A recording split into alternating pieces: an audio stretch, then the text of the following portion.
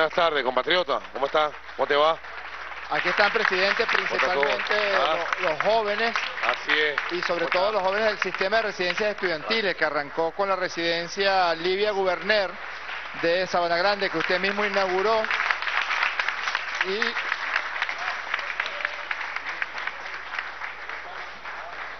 Recordemos que este proceso de restauración ha generado 70 empleos directos y 140 indirectos y contó con una inversión de 50 millones de bolívares. Elementos importantes que destacar durante este proceso de restauración hubo un hallazgo de arqueológicos que son expuestos en una de las áreas de la casa junto a facímiles de documentos relacionados con la vida del docente Simón Rodríguez. De igual forma, los niños y niñas aprenderán bajo principios de las actividades eh, lúdico y pedagógico orientadas sobre la in- interactividad, aprendizaje significativo en el viaje en el tiempo como experiencia educativa.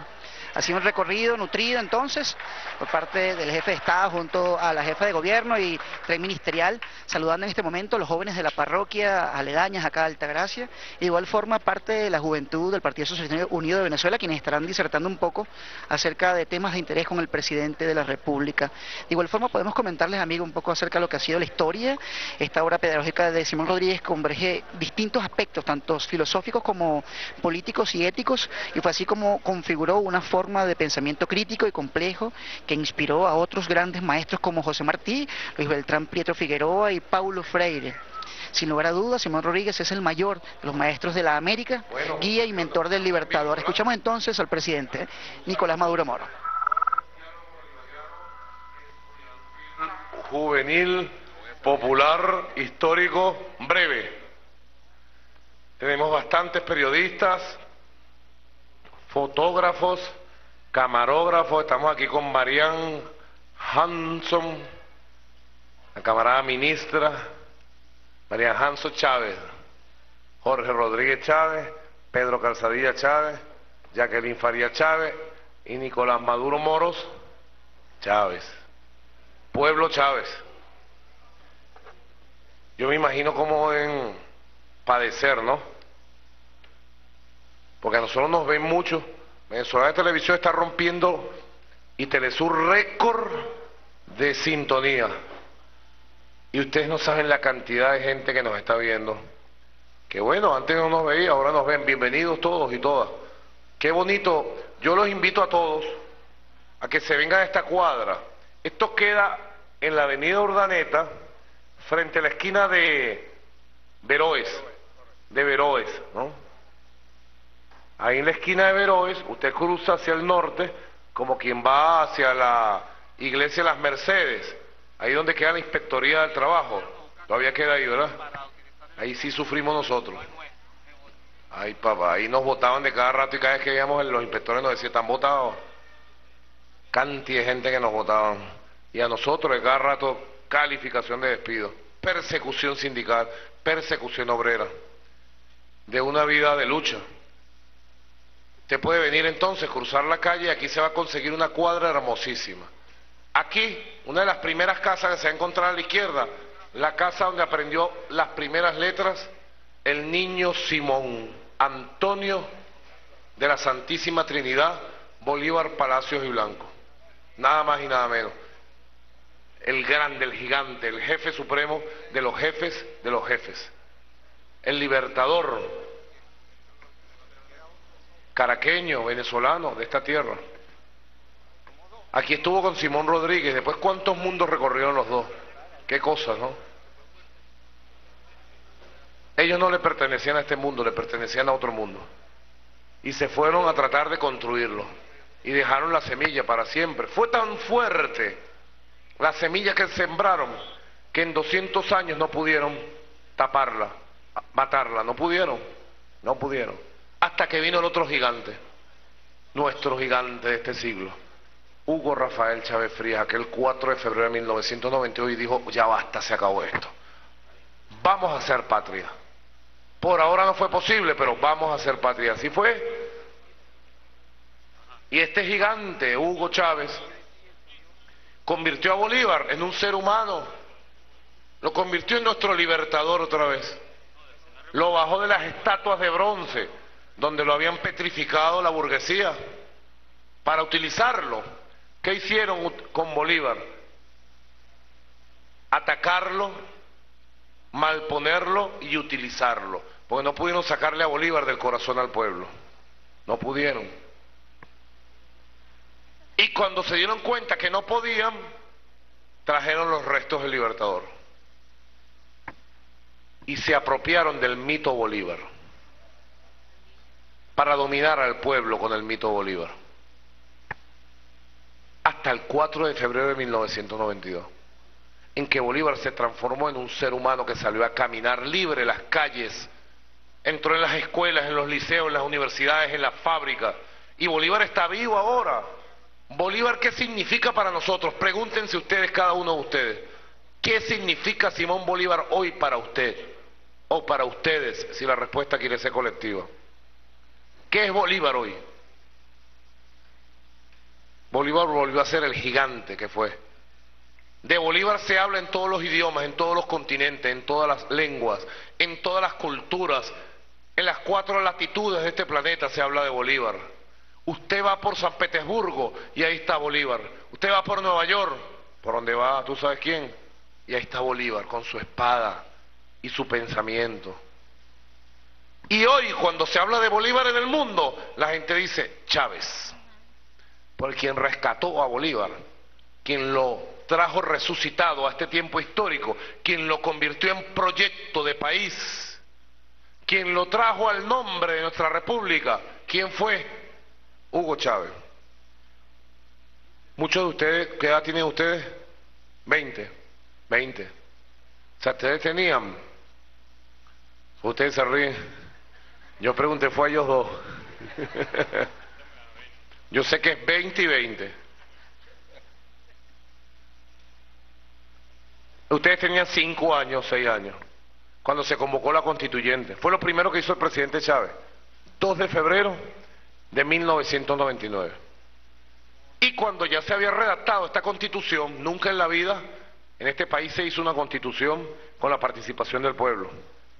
Toda esta letra es letra viva del pueblo. Toda. Toda esta letra que está aquí.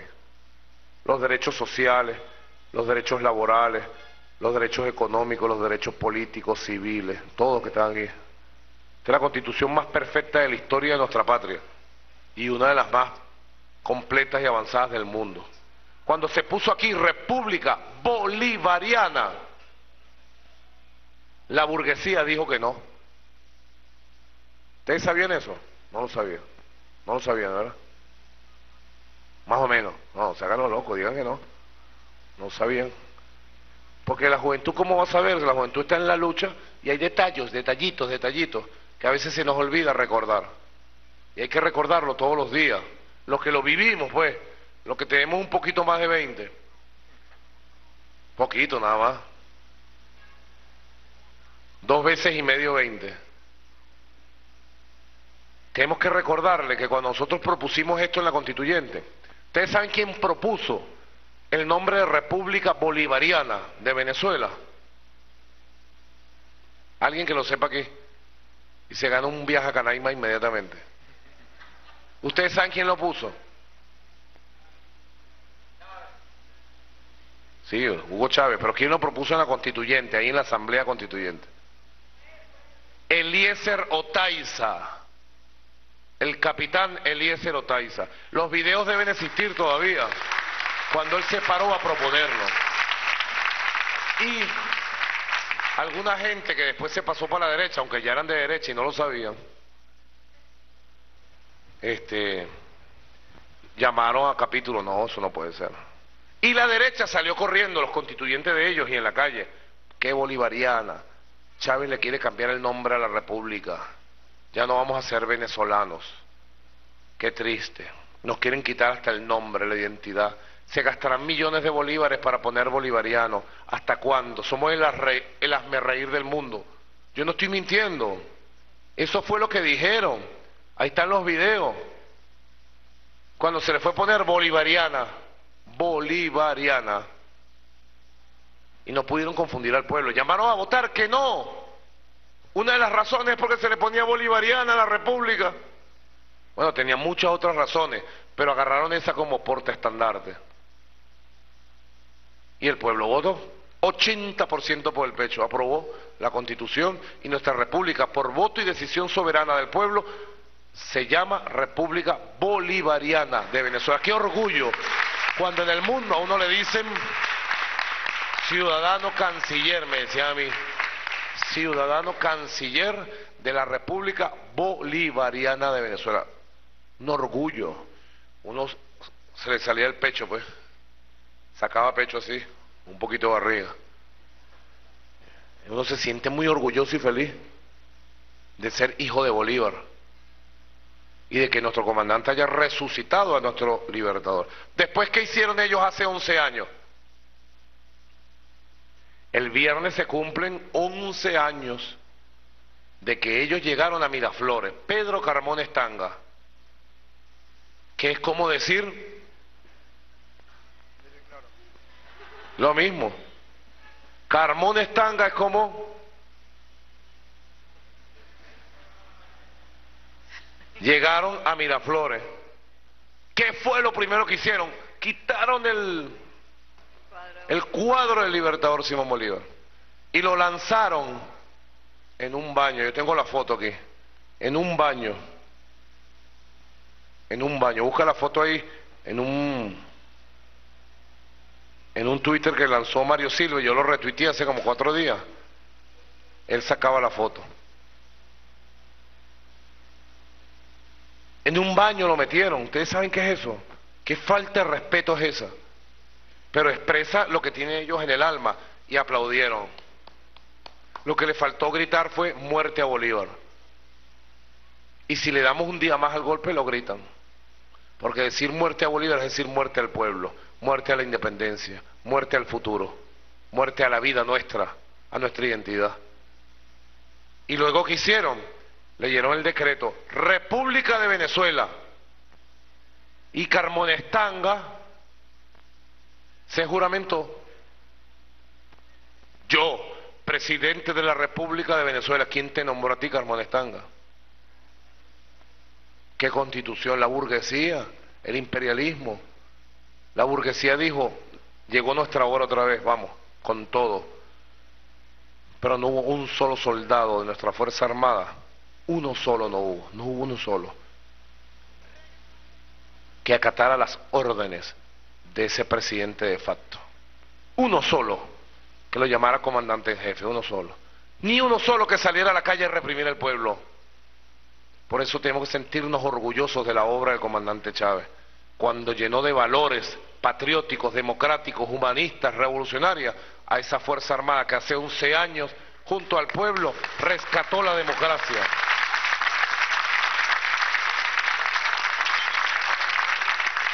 Bueno, estas son pequeñas reflexiones. Vamos a pasar a los temas de fondo. Yo le doy la palabra. ¿Quién la va a tomar de ustedes? Don Jorge Rodríguez Gómez. Muchas gracias, presidente.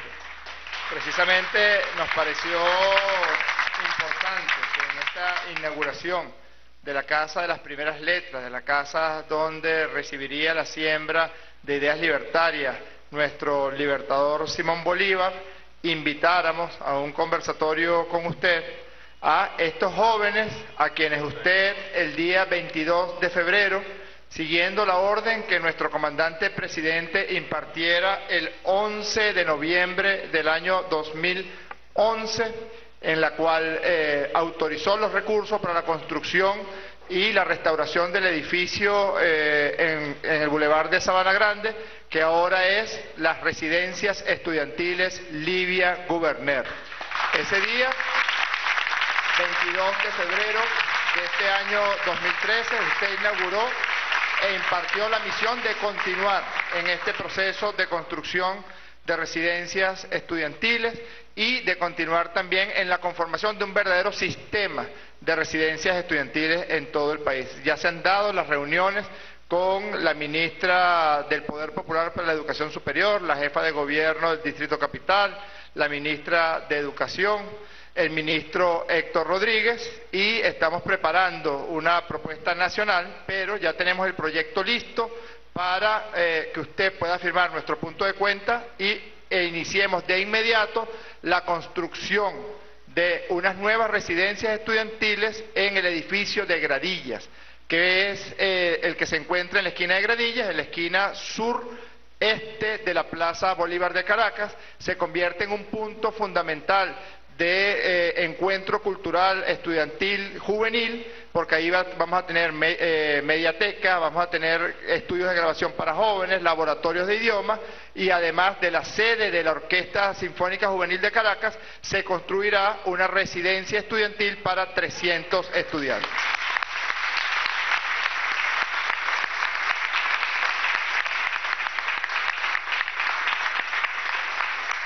Bueno, aquí está el punto de cuenta firmado por Jorge Rodríguez Gómez y Jacqueline Faría Pineda. El punto de cuenta dice propuesta de residencias estudiantiles en el marco del proyecto Centro Juvenil para la Cultura Urbana, qué bonito ese nombre, Frente Juvenil para Cultura Urbana en el edificio Gradillas del Plan Casco Central de Caracas. Jorge Rodríguez Gómez tiene una foto ahí. Mientras tú la muestras, yo voy leyendo el punto de cuenta, porque aquí están solicitando unos recursos para construir este centro juvenil, ¿verdad? Vamos a mostrarlo aquí en un diálogo bolivariano. Cámara, acción. Se ve mal, no se ve completo. Ahí está el proyecto. Sé que la derecha se burla de esto porque dice, no, pura maqueta, maqueta. Espérate unos 10 meses para que vea la maqueta construida ahí. Ocho meses, presidente. Ocho mesecitos. Vamos a estar inaugurando en ocho meses, ocho más cuatro, doce. En diciembre, Correcto. diciembre de juventud va a ser.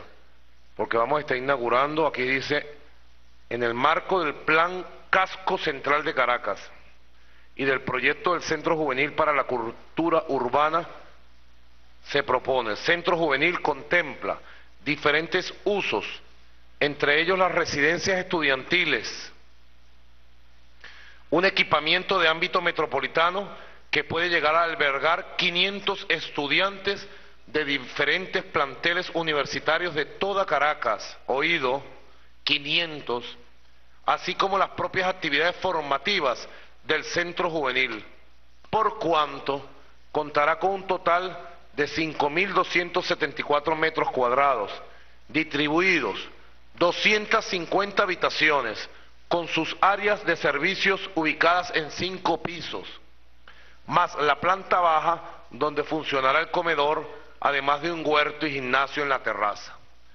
Se somete a consideración del presidente Nicolás Maduro Moro, pusieron, es Moros. Un moro es otra cosa, yo soy un moros. Varios moros. Que son varios moros. El financiamiento necesario para iniciar la ejecución y equipamiento de obras correspondientes al desarrollo de las residencias estudiantiles, la cual contará con la dotación de, oído, estudiantes, estudiantes presentes, y siempre consecuentes y los que nos están escuchando, esto lo vamos a hacer como sistema de residencias universitarias en todo el país. En todo el país lo vamos a llenar de residencias dignas para nuestros estudiantes universitarios. Uno por uno. Donde haya estudiantes universitarios tiene que haber residencias dignas.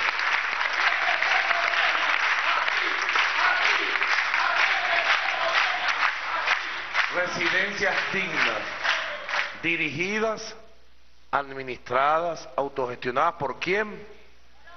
Por los estudiantes, poder estudiantil, poder, poder, darle el poder a los estudiantes.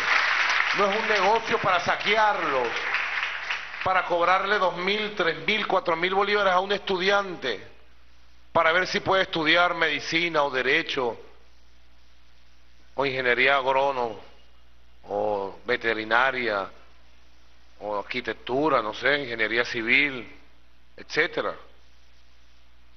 Entonces, estas residencias van a tener como la que tiene la que inauguramos hace poco, Livia Guberner. El 22 de febrero. El 22 de febrero. 22 de febrero. Cuatro días que había llegado nuestro comandante, ¿no? Correcto. el 18 de febrero, lunes tempranito, a las dos y media de la mañana aterrizó el avión con nuestro comandante en jefe. Cuando decidió venirse, que le dieron las opciones que tenía, porque el comandante en jefe ya entraba en tratamientos obligatorios, complementarios, de quimioterapia. Y bueno, él preguntó qué puede pasar con estos tratamientos. Y los médicos que siempre lo tenían informado absolutamente con toda la verdad, le explicaron, son fuertes, son complejos, pueden complicar su situación, los órganos fundamentales, etcétera. Y hay riesgo, sí hay riesgo, comandante. Así como los tratamientos pueden hacer un efecto benigno y ayudar muchísimo, también puede presentarse cualquier escenario. Y él dijo, bueno, yo me siento ahorita más fuerte que antes, si hay riesgo, yo voy a pensar, pensó y dijo, me regreso a Venezuela. Preparen todo, mandó a llamar a Diosdado Cabello, a Rafael Ramírez, fueron a hablar con él allá, mandó el mensaje y dijo, me regreso a Venezuela para estar con el pueblo y enfrentar los tratamientos complementarios de la quimioterapia con el pueblo allá en Caracas. ¿Dónde? En el hospital militar, que es donde estaban las condiciones. Y así hizo exactamente. Si viniera algún escenario de complicaciones, estoy allá. Y si me tocara la última hora, que sea en Caracas, que sea en Venezuela. Él tomó esa decisión. La tomó conscientemente. 18 de febrero. El 22 de febrero estábamos nosotros entregando. 22 cayó viernes. Viernes, correcto. Que fue el mismo día en la noche, en la tarde cuando lo vimos. Y entre Jorge Arriaza y yo le contamos lo bonito que había sido el acto en las residencias estudiantiles. Porque esto es un proyecto de él, este es un proyecto de Hugo Chávez, las residencias, los estudiantes en su residencia estudiando. Aquí está, miren la foto. La foto de Chávez el día que... Cuando aprobó los recursos para la residencia Livia Gobernar. Y nosotros lo que estamos es para continuar su proyecto completo en toda su magnitud, material, física, espiritual, humana, ideológica, política. Así que esta residencia que vamos a construir aquí, que en diciembre debemos estar inaugurando, va a tener, como tiene, camas, los mobiliarios de cama, escritorio, bibliotecas, sillas, lámparas, mesas de comedor, nevera, cocina industrial, computadoras, impresoras, fotocopiadoras, microondas, cafeteras, etcétera, etcétera. ¿Ah? Y además, presidente, disculpe, está al lado del llamado edificio Gradillas A, que es el llamado, que es el Centro Juvenil para la Cultura Urbana.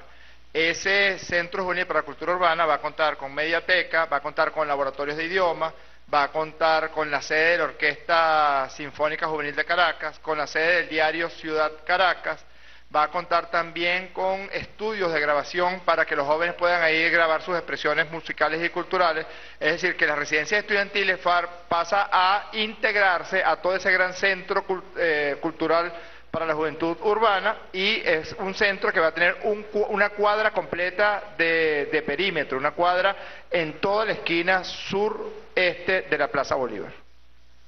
Imagínense ustedes, todo un concepto integral de la vida de la juventud y del pueblo en general. Lo que le estamos dando un protagonismo y una atención y protección especial a la juventud. Pues la juventud tiene que forjarse.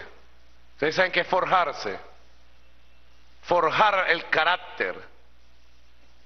Forjar el carácter en la lucha de ideas, en la lucha de calle.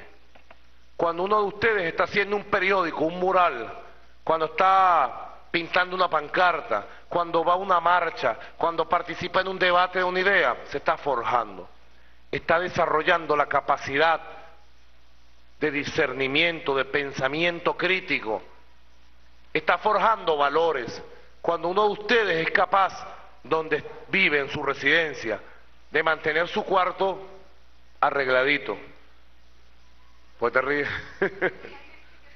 Casi nadie. Yo creo que tiene que ser así. De ir y limpiar el baño. le toca sábado y domingo lavar el baño con sus manos. Ah, lo hacen, ¿verdad?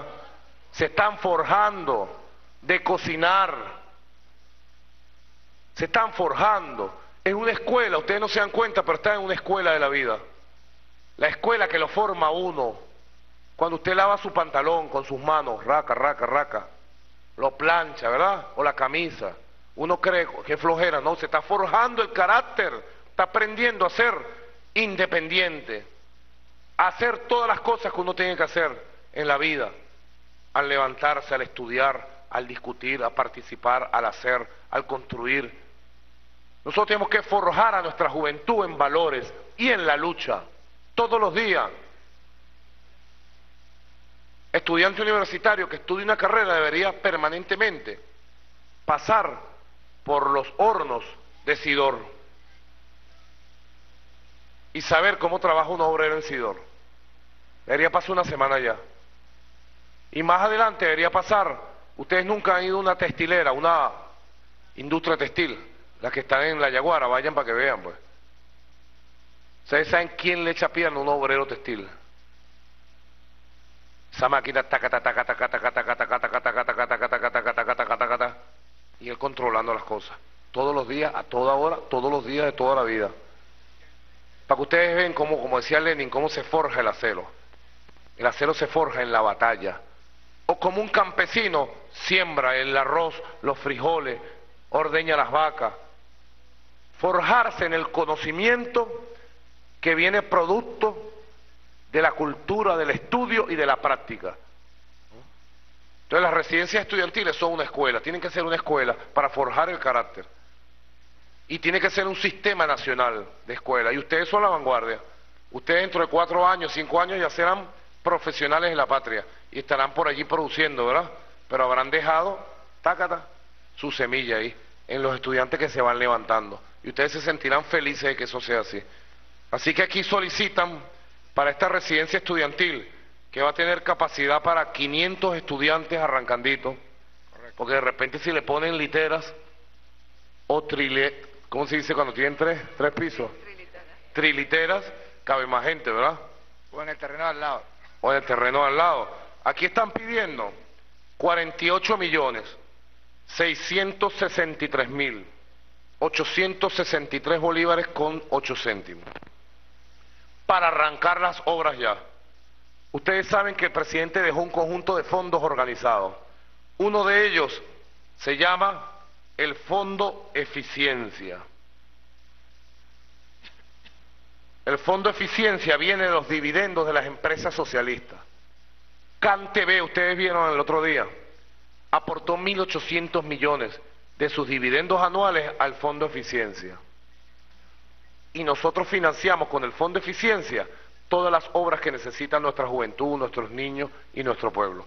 Así que estos 48 millones de bolívares yo los voy a aprobar inmediatamente del Fondo Eficiencia para que se construyan las residencias estudiantiles de la esquina de Gradilla para nuestra juventud universitaria. Aquí a nombre de Chávez, yo apruebo estos recursos y a nombre del gobierno bolivariano. Aquí está. Más nada, aquí está. Y que estos recursos se muevan rápido, mira. Aquí está. Fondo Eficiencia, la firma de Jorge Rodríguez, Jacqueline, más abajo. La firma mía. Y aquí está Fondo Eficiencia. Así que de una vez procedan, pero inmediatamente, sin perder tiempo, a iniciar la construcción, supervisión del movimiento estudiantil, de la construcción de esas residencias estudiantiles. Igualmente vamos a aprovechar la oportunidad, ya que la almiranta Carmen Meléndez eh, me trajo este punto de cuenta que preparó junto a nuestro ministro de Cultura, Pedro Calzadilla, para nombrar una comisión presidencial. Esta comisión presidencial se va a encargar del resguardo, estudio, preservación y difusión del legado histórico de la revolución bolivariana. y va a estar encargado esta comisión presidencial de articular el sistema de museos de la revolución bolivariana, que va a tener en el cuartel de la montaña su sede central nacional.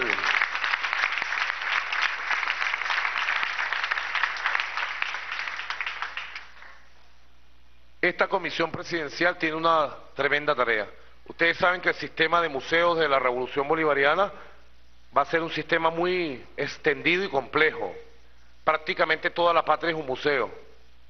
Porque si nos vamos a la resistencia indígena, que son los antecedentes de la Revolución Bolivariana, bueno, ¿cuántas cosas tenemos que hacer?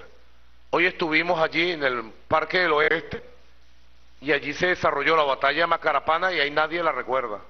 Ahí hay que recordar con los cuerpos de nuestros indios, con una representación museística, la batalla de Macarapana, donde lamentablemente 18 mil indios pelearon a favor del, rey español. Pobrecito. Ya estaban sometidos a la esclavitud. Y derrotaron a sus reivindicadores, a sus defensores. Derrotaron al cacique Katia en 1567, sus propios indios, para que ustedes vean que siempre hay que estar claro de qué lado está la patria, de qué lado está la humanidad, de qué lado están los intereses de la tierra de uno, de la identidad de uno. Uno se puede equivocar y termine uno combatiendo contra sí mismo y enterrando, en el caso aquel, ellos se enterraron, los indios. Imagínate, tú ganaron la batalla de Macarapana y al otro día nada esclavo y sus hijos esclavos y sus mujeres, violadas y sus tierras saqueadas. Sirvieron a los intereses de sus enemigos históricos y no lo sabían. Como a veces todavía en esta época hay gente que no lo sabe. Así que vamos a anunciar la comisión presidencial, que va a estar formada por Rafael Ramírez, Elías Agua, Adán Chávez, Carmen Meléndez, Rosa Virginia Chávez, Jacqueline Faría, Jorge Rodríguez, Carmen Borges, Jacinto Pérez Arcay, Gustavo González López, mayor general, Miguel Rodríguez Torres, general, José Ornela Ferreira, Cilia Flores, Pedro Calzadilla, Néstor Reverol y el primer teniente Juan Escalona. Este es el núcleo principal de la Comisión Presidencial para el Sistema de Museos de la Revolución Bolivariana. Vamos la palabra a Pedro Calzadilla para que nos haga un comentario. Sí, presidente, muchísimas gracias. Eh, creo que la, la circunstancia de la Revolución Bolivariana ha hecho revalorar, replantearnos, propiciar una relectura de nuestra historia y encontrarnos como pueblo, reencontrarnos con una con una interpretación de nuestro pasado que había estado absolutamente distante de lo que por mucho tiempo se nos enseñó. La historia se convirtió, la historia de nuestro pueblo, hasta a partir de algunos procedimientos de, de manipulación ideológica, de separación de la verdad histórica y de la esencia de nuestro pueblo, de los hechos que protagonizaron, se convirtió en una poderosa herramienta anestésica que sirvió ¿verdad? justamente para adormecer a nuestro pueblo y contribuir a sumarlo ¿verdad? A, las, a las causas justamente de lo que usted comentaba, a las causas que le son ajenas y contrarias a sus intereses. Por eso por, por mucho tiempo nuestro pueblo se vio sometido a esa a esa, a, esa operación ideológica que apenas ahora comienza a liberarse y fue el comandante Chávez quien nos permitió poner la historia nuevamente en el lugar que le correspondía, incluso a quienes estamos del lado de la historia y hemos trabajado con ella, nos hemos ido, nos, nos enseñó a iluminar aspectos que estaban absolutamente desatendidos. Uno de ellos es el tema de las luchas de nuestro pueblo a lo largo de la historia. Es la lucha del pueblo insurgente venezolano, es la historia insurgente de este pueblo que ha caracterizado desde el momento de la invasión hasta el presente. Por ejemplo, toda la ruta de la campaña admirable que se cumplen ahora 200 años, forma parte toda esa ruta del el sistema de museos. Te pongo un ejemplo, el Santo Cristo de la Grita, que es el Cristo de Bolívar, porque Bolívar fue al Santo Cristo de la Grita. Correcto. Y se encomendó a él. Y saliendo de allí, llegó a Mérida y el pueblo le gritó libertador por primera vez. Y saliendo de allí, del Santo Cristo, vino a Caracas y el pueblo lo proclamó libertador para siempre. Se entregó a Cristo. Era la causa de Cristo hecho con las armas. No había otra forma de hacerlo. Así que toda esa ruta de la campaña admirable es parte del sistema de museos y tiene que haber recordatorios, tiene que haber facilitadores, la juventud universitaria, facilitadores, y toda la patria sea un museo. Y Bolívar el museo es más grande, porque Bolívar llegó, Bolívar fue a México, estuvo en Cuba, en España, Francia, Italia, etcétera. Bolívar estuvo en Panamá, allí está la casa donde se hizo el Congreso de Panamá, Bolívar recorrió lo que hoy es Colombia de punta a punta, completico. Lo que hoy es Ecuador, lo que es Bolivia, lo que es Perú. Y no llegó más allá, por lo que todos ustedes saben, por la traición de Santander y de Páez. Le quitaron el mando antes de la batalla de Ayacucho. Y tuvo que tener el mando en la batalla de Ayacucho el gran mariscal Antonio José de Sucre, pues le quitaron el mando al gran Bolívar. Así que el museo es largo, por donde uno pasa, hay dos o tres casas, aquí vive Bolívar, en Cochabamba, en Lima, en La Paz, en Potosí, por donde uno vaya, en Quito, en Guayaquil. La otra vez estábamos en la reunión de cancilleres del Alba y fuimos, aquí estuvo Bolívar con San Martín y un tremendo uh, monumento de homenaje. Así que Bolívar, o sea, todo, toda la patria es un museo, pero va mucho más allá, inclusive las fronteras de lo que hoy es Venezuela. Sí, presidente, y habría que añadir eso en el caso de nuestros próceres, ¿verdad? conocidos, destacados, pero nuestra historia está llena de héroes anónimos, de personajes que entregaron su vida y que liderizaron procesos en las regiones, en las localidades, y que son fueron satanizados, criminalizados por la historiografía, muchos, muchos jefes de revoluciones, de alzamientos campesinos durante el siglo XIX, muchos líderes de alzamientos indígenas, de, la resistencia afro-venezolana, estuvo, estuvo dirigida por personajes que pasaron a la historia, o no pasaron a la historia, sino fueron olvidados, ¿verdad?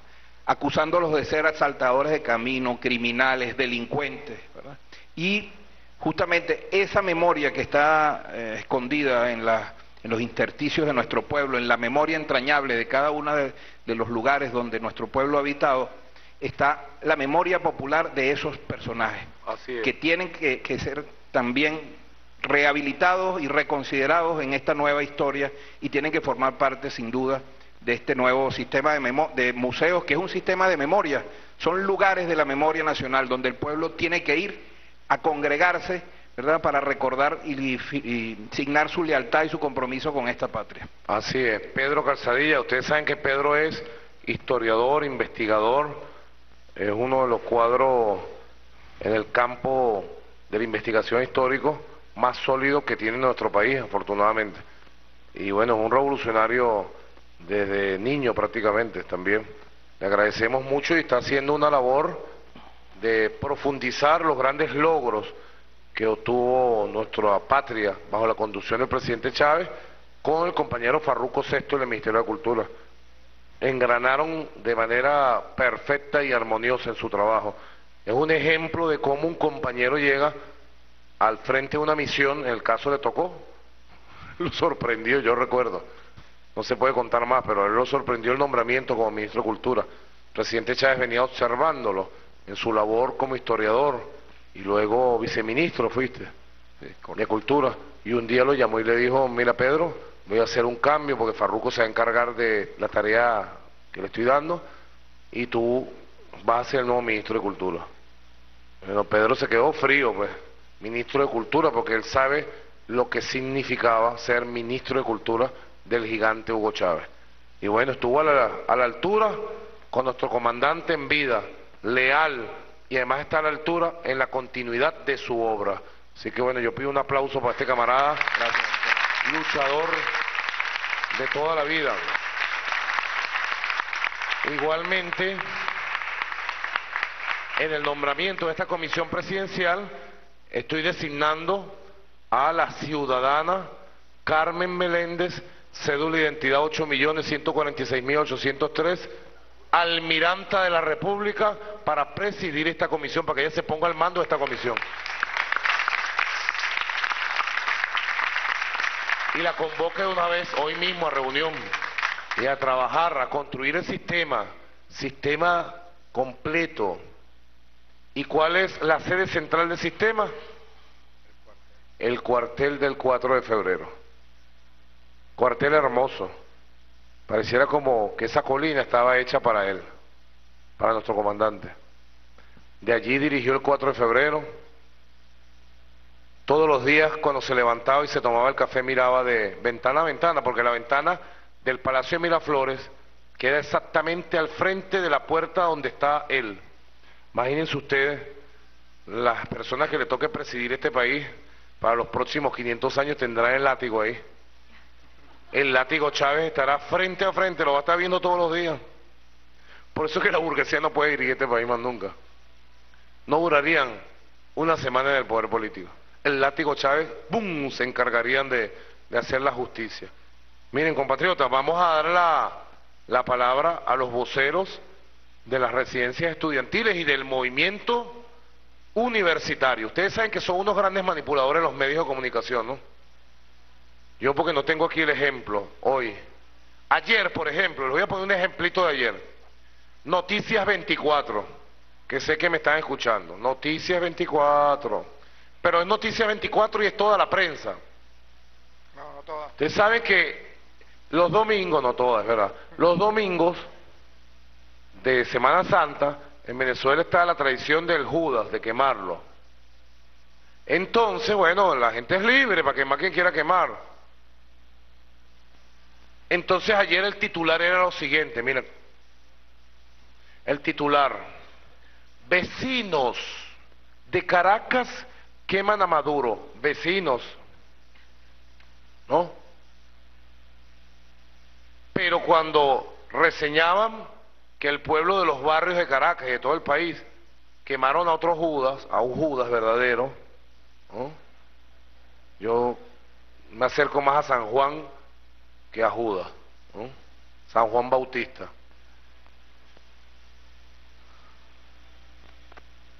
Entonces el titular era el siguiente. Militantes oficialistas queman a a unos son militantes oficialistas y otros son vecinos. Noticias 24 manipuladora. Tú, manipulador, ¿me estás oyendo? Manipulador eres. Haz con tu Noticias 24 lo que quieras, tienes libertad en este país, pero eres un rolo de manipulador. Y así es cuando salen unos muchachos, que son 10, un grupito, a encadenarse, a burlarse de la memoria sagrada de nuestro comandante, chicos estaba nuestro comandante luchando por la vida y ellos andaban en una payasada en Chacao. Payasada, le digo. Estudiantes universitarios exigen presencia del presidente Chávez, ponían. Y si salían por miles los estudiantes universitarios, donde la revolución es amplia mayoría, tenemos el 80% del movimiento estudiantil universitario de este país, bajo la conducción de revolucionarios, estudiantes oficialistas. ¿Por qué son tan manipuladores? Es que no son estudiantes estos muchachos. Son oficialistas, nosotros somos oficialistas. Si usted quiere ponernos una, un, no, no, un apellido, pónganos chavistas, pónganos bolivarianos, pónganos revolucionarios, pónganos socialistas, pónganos cristianos, manipulador. Estudiantes cristianos, bien. Estudiantes socialistas, bien. Estudiantes chavistas, bien. Estudiantes bolivarianos y revolucionarios, bien. ¿Qué es eso de oficialista? Son oficiales, ¿oficiales de qué? Sean manipuladores, ¿vale? A los otros sí le dicen estudiantes. La sociedad civil, como cuando estaban asaltando hace 11 años la Embajada de Cuba. La sociedad civil ha salido a protestar justamente contra el intervencionismo y todo aquello. La sociedad civil, esa era la sociedad civil que le reventó los carros a todos los diplomáticos cubanos, que iba a quemar la embajada de Cuba, que iba a asaltar la embajada de Cuba. Sociedad civil es esto que está aquí, el pueblo en la calle, el pueblo que opina, el pueblo que gana elecciones cada año, así, rácata, rácata, rácata, rácata. No sean manipuladores, burgueses, burgueses, manipuladores. Entonces vamos a darle la palabra para que algunos estudiantes, que son estudiantes de verdad de paso, porque ellos, ellos les pueden mostrar sus notas y que estudian, y le podemos hacer un examen de lo que estudian para que vean su conocimiento, cuando quieran. Podemos estrenar el programa los sábados a las 8 de la noche, La Guerra de los Sesos, para que ustedes vean, y si quieren llevan aquellos y nosotros, ellos llevan sus manitas blancas y nosotros llevamos nuestros corazones rojos, que son nuestros jóvenes de corazones vivos. Para que ustedes vean que son estudiantes de verdad, estudiantes de verdad, frescos, amorosos, felices, que tienen su sonrisa, miren. No están amargados. Como dice Aguimiro Gabaldón, nosotros somos la vida y la alegría en tremenda lucha contra la tristeza y la muerte. Grábenselo aquí. Vamos a pintarlo en murales en todos lados. Arguimiro Gabaldón. Yo le estaba diciendo Aguimiro, es Arguimiro Gabaldón. Arguimiro, comandante Carache. Somos la vida y la alegría en tremenda, dice, en tremenda, no es cualquier lucha, en tremenda lucha contra la tristeza y la muerte. Eso somos nosotros. Llevamos nuestro dolor aquí porque perdimos a nuestro comandante físicamente, aunque lo tenemos en la vida eterna bendiciéndonos cada segundo. Pero nosotros vamos con la fuerza de la batalla y la alegría, que nadie se confunda. Aquí lo que hay es fuerza y en la calle lo que hay fuerza y el puño así y la sonrisa a flor de piel. Vamos a darle la palabra a dos compañeros, por lo menos dos voceros en este diálogo bolivariano vamos a pasar el día entero en diálogo bolivariano. Y de aquí hasta el 2530, diálogo bolivariano, que es un pueblo debatiendo ideas, proponiendo cosas en democracia.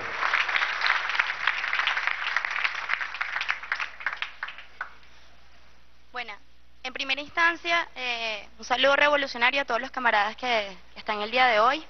Eh, nosotros somos, somos estudiantes insurgentes, somos un pueblo insurgente, en donde quiera que estemos, estamos haciendo revolución en las universidades, en las residencias, en las calles e incluso en las instituciones del Estado. Todos los camaradas y las camaradas que están en las instituciones del Estado no pueden llamarse oficiales porque ellos están insurgiendo a lo interno de esas instituciones. Así que le exigimos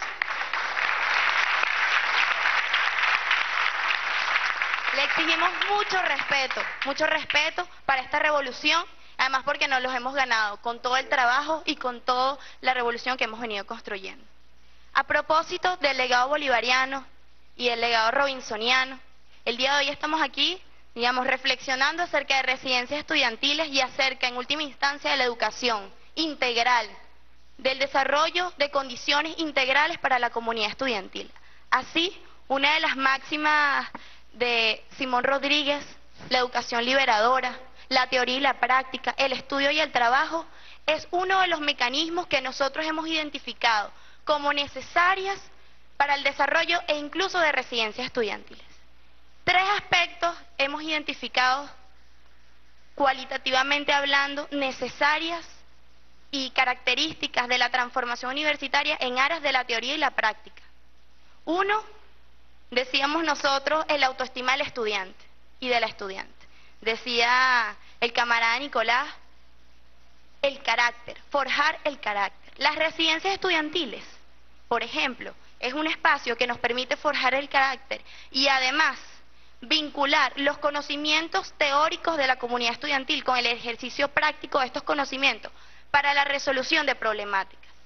Así, un estudiante que se vincula con la práctica tiene la moral para decirle a su país, continuemos financiando nuestra educación pública, porque nosotros y nuestro conocimiento están al servicio del pueblo y están al servicio del desarrollo nacional. Eso es uno de los aspectos. Pero además está el asunto de la pertinencia del conocimiento. Construir conocimiento vinculado con la teoría, con la práctica, el, la, confrontar cotidianamente los aspectos que construimos teóricamente con la realidad en la calle, es darse cuenta que es pertinente y es alimentar esa teoría, es alimentar constantemente la sistematización del conocimiento. Pero, ¿cómo es posible que en nuestras universidades por tanto tiempo no haya habido una actualización de los pensos de estudio, por ejemplo, en las universidades autónomas inclusive? Eso es que hay un distanciamiento. ¿Por qué es eso? Porque hay un distanciamiento profundo entre la teoría y la práctica. Nos quedamos en las aulas de clase anotando, escribiendo. O sea, un conocimiento libresco. Pues. Es correcto, bancario, una educación bancaria, repitiendo. En Venezuela... un conocimiento transformador. Pues. Los estudiantes revolucionarios estamos apostando por varios mecanismos. Uno es la residencia, y ya lo vamos a explicar. Por varios mecanismos a la transformación universitaria cómo confrontamos los conocimientos académicos, el punto de vista teórico, con la realidad concreta de nuestro pueblo y de nuestra sociedad. Y eso influye necesariamente en el desarrollo económico y social de nuestro país. En muchos países y los Estados Unidos y muchas naciones eh, neoliberales han hablado del progreso. Incluso la burguesía venezolana ha hablado del progreso. Y nosotros decimos que el progreso necesariamente tiene que estar ligado con las condiciones del desarrollo de las condiciones materiales del pueblo para seguir avanzando y con el desarrollo social. Si nosotros alimentamos nuestra teoría, la que aprendemos en las universidades, con la realidad concreta de nuestras calles, decías tú de las fábricas, de las textileras, de los consejos comunales, del tráfico, de la realidad, de la realidad si alimentamos nuestra, práctica con la sistematización de ese conocimiento que hay en la calle, de los saberes populares, pues vamos a tener un conocimiento pertinente y además al servicio del desarrollo nacional. Nosotros, a través de las residencias estudiantiles, y en eso radica la propuesta que venimos impulsando de residencias estudiantiles, en que a través de ellas, nada más con la concreción de estas residencias, con la participación de la comunidad estudiantil, podemos vincular los conocimientos de la comunidad estudiantil con la práctica. Nosotros hacíamos con los camaradas de la alcaldía de Caracas mesas de trabajo, con, con los compañeros estudiantes de arquitectura, de ingeniería civil, a diseñar nuestro proyecto, cómo van a ser nuestras residencias estudiantiles. Y en ese sentido poníamos y ponemos en práctica los conocimientos que adquirimos en la universidad. Así, muchas cosas. Yo soy estudiante de trabajo social y estamos en un proceso organizativo a lo interno de la residencia. Pero ¿qué son los trabajadores sociales sino motorizadores de procesos orgánicos en las comunidades? Entonces, es, posible, estamos demostrándole al mundo y a la sociedad venezolana y a las universidades que es posible eficientemente vincular los conocimientos con la realidad social y ponerlos al servicio del pueblo. Nosotros estamos desarrollando, por último, un centro de investigación en la residencia estudiantil es como un banco de soluciones. Es un espacio donde nos encontramos con las comunidades organizadas, con los estudiantes con un gran potencial científico, social y artístico, sistematizar los conocimientos, sistematizar las problemáticas sociales y buscarle soluciones colectivas a esa realidad. Cuando nosotros hayamos resuelto por lo menos uno, o dos, o tres problemas a través del apoyo incluso de, de las instituciones del Estado, como el desarrollo de políticas sociales para la satisfacción de las necesidades. Vamos a seguir impulsando con el Ministerio de Educación experiencias concretas de la posibilidad de transformar nuestras universidades a través de este método, de la unión del estudio del trabajo. La invitación es a toda la comunidad estudiantil a que comencemos a pensar seriamente cómo nos ponemos al servicio de nuestra nación, al servicio de la revolución y que dejemos de estar, digamos, no voy a faltarle el respeto a ningún estudiante, ¿no? pero que dejemos de estar pensando en cosas insignificantes, que dejemos de estar haciendo espectáculos en las calles y que nos dediquemos a la construcción del conocimiento científico para el desarrollo de nuestro país. Así es. No hay más nada que decir. Todo ha sido dicho. La sabiduría de una generación virtuosa, como aquella generación que salió aquí de esta Caracas hace 200 años, una generación virtuosa, llena de luces, de brillo, de capacidad de volar, de trascender su tiempo.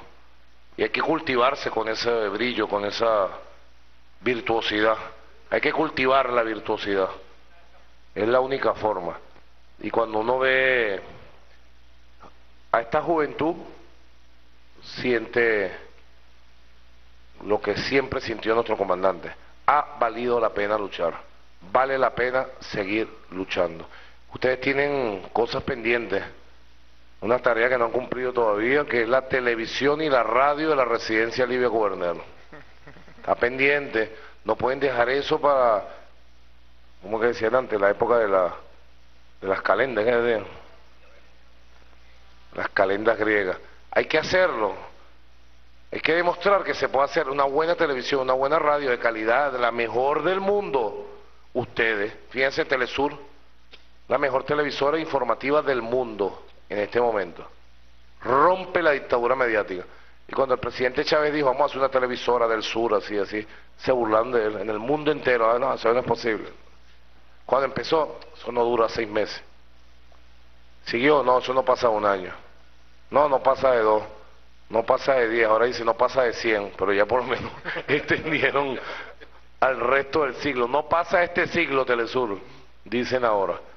Entonces, hace falta que concretemos, cuadremos ya cuándo va a empezar a funcionar, qué hace falta para el funcionamiento de la televisora, de la radio de ustedes, ahí en la residencia Livia Guberner, y cada residencia debe tener una radio, ¿por qué no? Pues, ¿ah?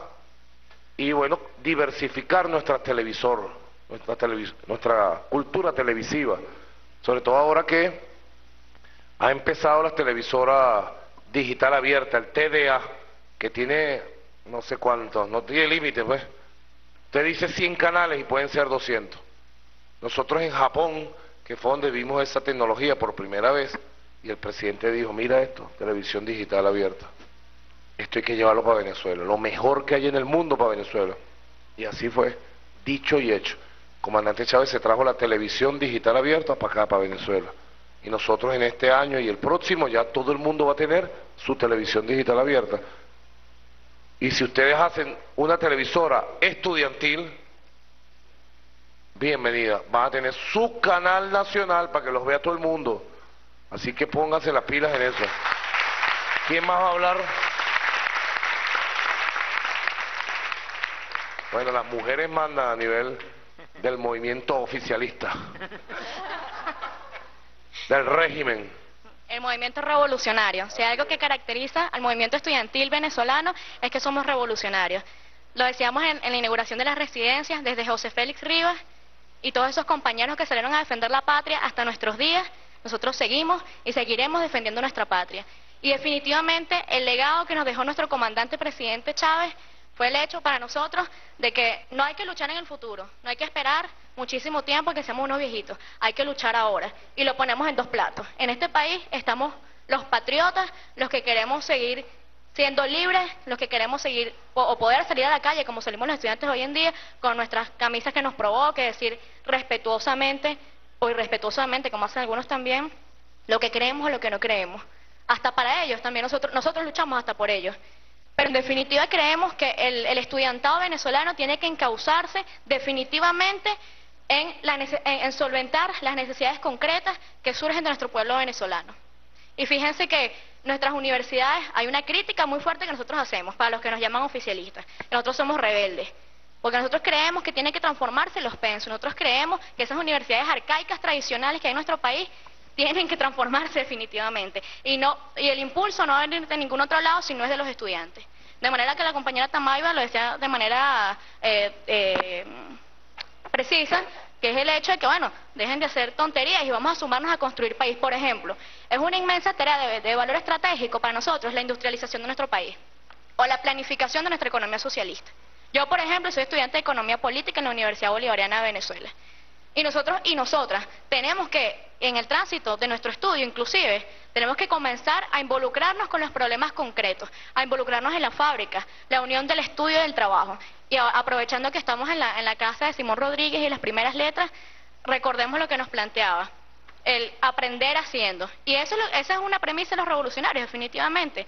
Entonces, enfrentémonos ya a los problemas de la planificación. Nosotros hacemos la crítica a la economía burguesa. Bueno, tenemos que construir la nuestra. En nuestras residencias están nuestras unidades de producción, dos empresas de propiedad social directa. Está nuestro centro de investigaciones, que es la vinculación puntualita en lo que cada uno de nosotros y en el tramo de, de, lo adelantado que podamos estar en nuestras carreras, nos involucremos en eso, para que cuando salgamos a nuestras universidades no seamos una gente que, bueno, no los agrónomos salen de las universidades y no tienen la menor idea de cómo ir a sembrar o de cómo acercarse a, la vida que en lo, en lo, particular los campesinos aprenden en lo cotidiano. O igual en nuestras barriadas caraqueñas. Por ejemplo, nosotros estamos, nuestras residencias Libia Guberniana están en la parroquia del Recreo. ¿Cuántos barrios de la parroquia del Recreo no estarán necesitando eh, unas escaleras o determinados arreglos en, términos físicos? ¿Y cuántos estudiantes no hay en, las en nuestras universidades de arquitectura, de ingeniería, que están pensando en cualquier otra cosa, estudiar o hacer proyectos o hacer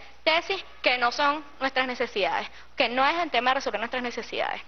De manera tal que el, tema o el llamado que nosotros y que nosotras hacemos a construir patria no es otro sino aterrizándolo en nuestro terreno concreto. El de los estudiantes y las estudiantes, nuestra universidad, nuestra mayor responsabilidad es cualificarnos para enfrentarnos a, esos problemas, pues que necesita la revolución, que necesita el desarrollo de nuestro socialismo, de nuestro socialismo revolucionario, bolivariano, chavista, que bueno, tiene que definitivamente crecer en nuestra América. Bueno, gracias. Hablan con la naturalidad que da la sabiduría, el conocimiento. ¿Están pidiendo la palabra por ahí atrás? ¿Quién? Sí, bueno, en nombre de este colectivo que hemos venido trabajando respecto a las residencias estudiantiles como un núcleo para la transformación universitaria, como un núcleo para la generación de hombres y de mujeres nuevas, nosotros le trajimos un regalo que es el manifiesto de las brigadas por las residencias estudiantiles, donde planteamos nuestra posición crítica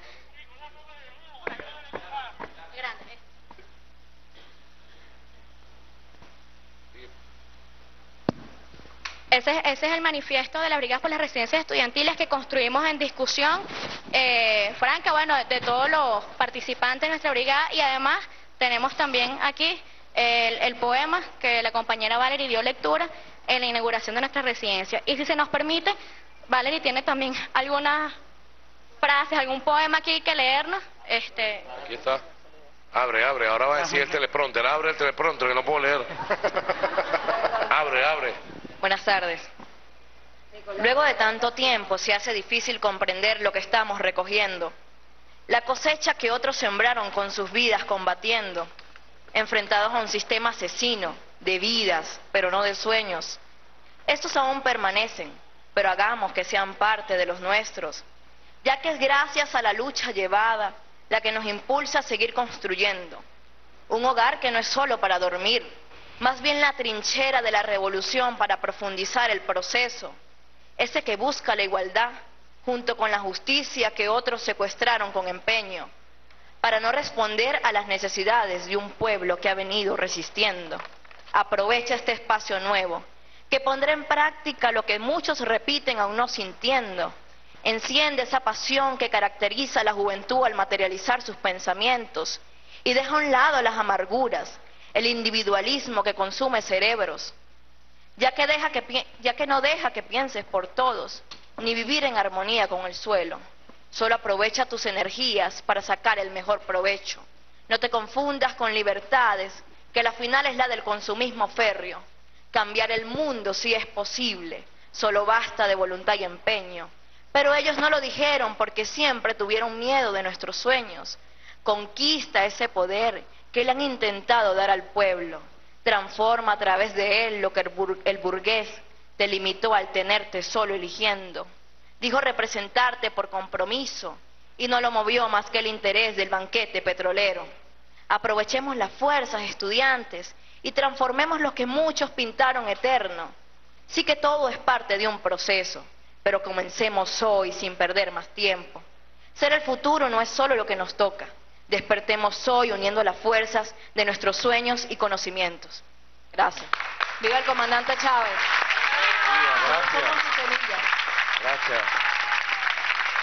Bueno, fíjense que esta sabiduría y esta frescura viene hace tiempo. Ustedes recuerdan el año 2007, ¿verdad? Cuando arrancó una nueva etapa del movimiento estudiantil venezolano. Se pretendió imponer un movimiento de probeta. Y aquel día ustedes recuerdan el debate en la Asamblea Nacional, ¿no? Que dejaron el guion de probeta que llevaban. Y salieron cumpliendo el guion. Y no se, no se dieron cuenta que ahí estaba, por los nervios, habían dejado las pruebas. Y los nuestros se quedaron en el debate. Y fue lo mejor. Fíjense ustedes, de esa generación que viene Héctor Rodríguez, Robert Serra, Andreina, que está por aquí, Tarazona, ese grupo de muchachos que en el 2007 dieron su paso adelante y están firmes y están en el gobierno, son forman parte del equipo de gobierno de la revolución bolivariana. Nosotros, bueno, ya para ir terminando este diálogo bolivariano bonito, breve y contundente que ha combinado lo histórico de los Simones con nuestra juventud, queremos recordar una reflexión que nos hizo el comandante Chávez en el año 2013 sobre el tema de lo nuevo, lo viejo, la edad. Ustedes saben que ellos estaban a la derecha en su tono intentando burlarse del comandante Chávez, diciéndole viejo, imagínate tú. Comandante se nos fue de esta vida con el alma más joven y pura que pueda tener un ser humano, con el espíritu de vida más grandioso que se pueda tener, que no lo tienen ninguno de ellos. Y burlándose de él, el comandante, con su sabiduría, los puso en su lugar. Y se los vaciló también, porque ustedes se dan cuenta que aquí no solo está la sabiduría de él, sino el fino humor con que se los vacilaba y que ellos nunca lo entendieron, ni lo entenderán, así lo escuchen 20 veces y les demos un mes para analizar esta frase o cualquiera que haya dicho. La amargura les viene ahí también, les viene porque entienden poco. La derecha que odia, ¿no? Me refiero a ellos.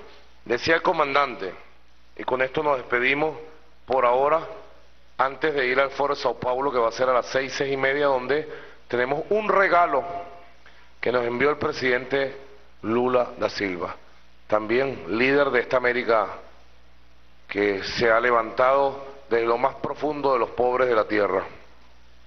Pendiente de regalo. Seis y media, siete más o menos. Muy bonito. Se van a conmover con el regalo que nos envió. Ajá, dice el comandante Hugo Chávez. El año pasado dice, lo nuevo no tiene edad. Lo viejo tampoco. Cristo vino a traer la buena nueva. No solo la nueva, sino la buena nueva.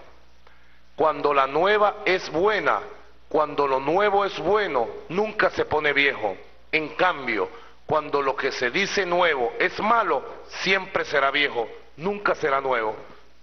Se lo dejamos ahí ese trompo en la uña para decir, esta derecha amargada entiende algo. Que Dios bendiga nuestra juventud, que viva nuestra historia, que viva nuestro comandante. Hasta la victoria siempre. Nos vemos muy pronto. Hasta luego, pues. Diálogo bolivariano de la tarde se acaba en este momento. Chao, pues.